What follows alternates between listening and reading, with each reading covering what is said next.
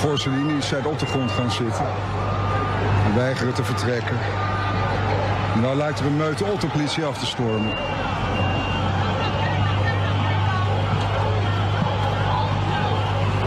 Er wordt met van alles nog wat gegooid.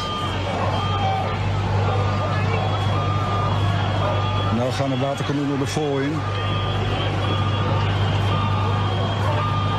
Hetzelfde tafereel als vorige week.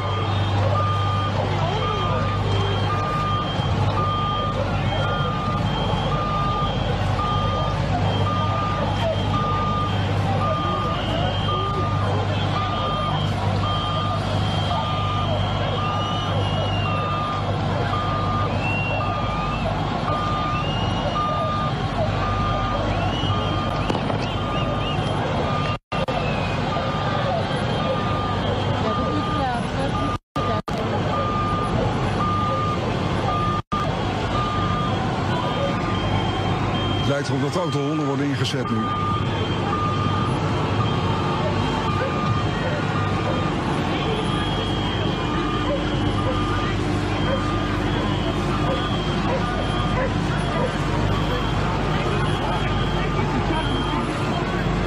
Je ziet dat de demonstranten langzaam maar zeker toch naar achter worden gedreven nu.